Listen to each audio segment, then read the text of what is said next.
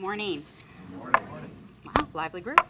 Um, so, as uh, Governor Holden said, I'm Elizabeth Burger, and I lead human resources for our global business operations at Monsanto. Um, for those of you who don't know, Monsanto, I think, is right in the heart of this issue. So, we are an agricultural company focused on increasing productivity for every acre of land and every drop of water uh, that's out there, and doing that by making sure we improve and conserve our environment we have a few factoids that I think might be helpful to demonstrate why we're interested. So we have about 21,000 employees. About half of those are inside the US. About half are located in 65 countries around the world. In the US, about 40% of our employees are located right here in the region. This is the capital of our research and development community, the hub for R&D for our corporation.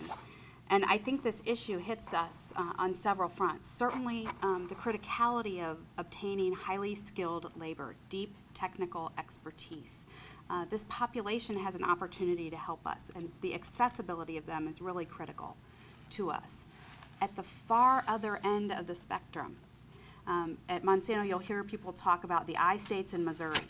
So you know, the heartland, America's heartland is where just a, a significant amount of our business and our operations are.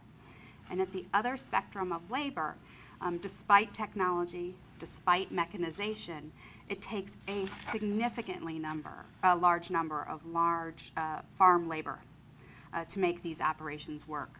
So we bring in somewhere in the neighborhood of, of 20,000 um, seasonal workers, shorter windows of time each year to help produce crops in the United States that then feed countries far outside our own reach.